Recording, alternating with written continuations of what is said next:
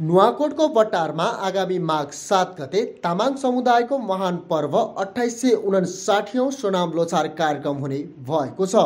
आइतबार नेपाल तामाङ घेदुङ जिल्ला कार्य समिति नुवाकोटले पत्रकार सम्मेलन गर्दै लोछारको अवसरमा तामाङहरूको संस्कृति झल्काउने सांस्कृतिक कार्यक्रम तथा जनप्रतिनिधि सम्मान गर्ने कार्यक्रम रहेको बताएको छ। कार्यक्रममा तामाङको संस्कार संस्कृति झल्कने लामा बोन्बो झाँक्री नाच मेन्दोमाया सेलो लगायत प्रस्तुति रहने नेपाल तामाङ घेदुङका केन्द्रीय सचिव एवं लोछार समारोह समितिका संयोजक जयमान वाइबा तामाङले बताएका छन्। अहिले लोछार मार्फत चाहिँ हामीले सुस्ताउँदै गरेको संस्कृतिहरूलाई अगाडि बढाउने तामाङ सभ्यतालाई अगाडि सार्ने राज्यले दिएको सेवा सुविधालाई हामीले उपयोग गर्ने र तामाङ समुदायले स्थानीय तहसम्म आधारभूत तहसम्म चाहिँ पाठ्यक्रम जुन आफ्नै लिपिमा आफ्नै भाषामा चाहिँ पाठ्यक्रम तयार बनाउँदैछौँ। हामीले पञ्चकन्या गाउँपालिकामा अहिले दुई क्लाससम्म चाहिँ तामाङ भाषामा तामाङ लिपिमा सञ्चालन भइरहेको छौँ। जस्तो किस्पाङमा हामीले पैँतालिसजना शिक्षकहरूलाई हामीले तामिक लिपिको चाहिँ प्रशिक्षण दिइसकेको छन्।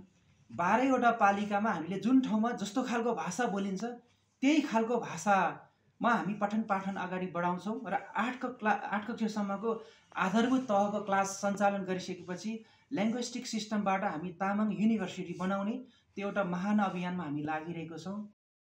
तामाङको धर्म संस्कार संस्कृति वेशभूषा संरक्षण तथा सम्वर्धन गर्ने उद्देश्यले हरेक वर्ष नुवाकोटमा पनि लोछार कार्यक्रम हुँदै आएकोमा विश्वव्यापी महामारीको रूपमा फैलिएको कोरोना भाइरसका कारण केही वर्षदेखि रोकिएको थियो। कार्यक्रममा हालै सम्पन्न स्थानीय प्रदेश र सङ्घको निर्वाचनमा निर्वाचित तामाङ समुदायका जनप्रतिनिधिहरूलाई पनि सम्मान गरिने कार्यक्रम रहेको बताइएको छ। तामाङ समुदायले यस वर्ष सोनाम लोछार ताक च्यान लोहो बाघ वर्गको विदाई र योही तावर लोहो बिरालो वर्गलाई स्वागत गर्दै लोछार मनाउँदैछन्।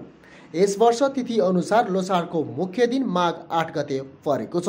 त्यस दिन नेपाल सरकारले सार्वजनिक बिदा समेत दिएको छ।